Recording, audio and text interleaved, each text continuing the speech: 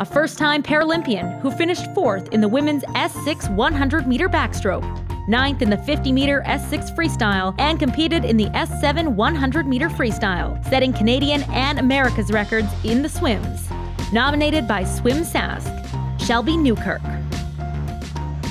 a bronze medalist on the first day of the Paralympics in the women's C4 individual pursuit, who also earned a fourth place finish in the time trial and a gold medal in the C4 3 kilometer Canadian Championships.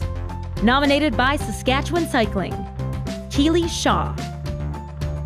A bronze medalist at the U20 World Athletics Championships, who set a Saskatchewan record with a time of 57.27 seconds in the women's 400 meter hurdles and the recipient of multiple gold medals throughout the outdoor track season.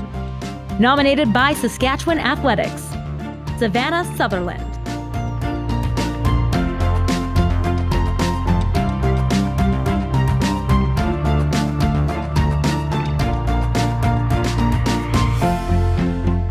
And the winner of the 2021 Saskatchewan Sport Awards Female Athlete of the Year is Keely Shaw.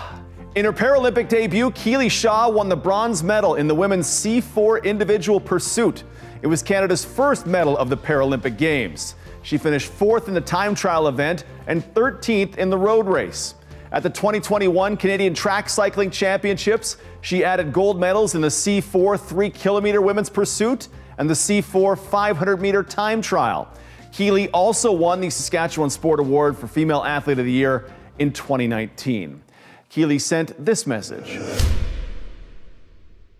Thank you so much to everybody who has supported me in my athletic career, not only in the past 12 months, but in all the years that came before.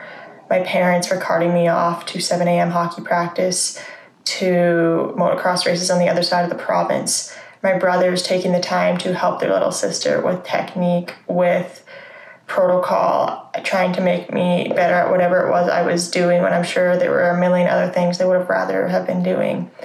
To the coaches from the time I was nine years old, helping me to understand whatever game it was that I was playing and really showing me the value of work ethic and of being coachable.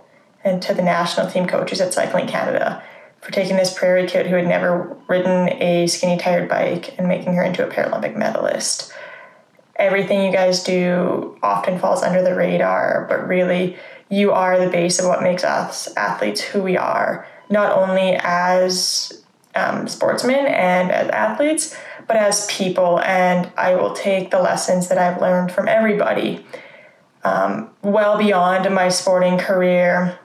And I know that because I've had the opportunity to be involved in so many sports with so many amazing people, I'll be a better person for it. Thank you so much for everything you do.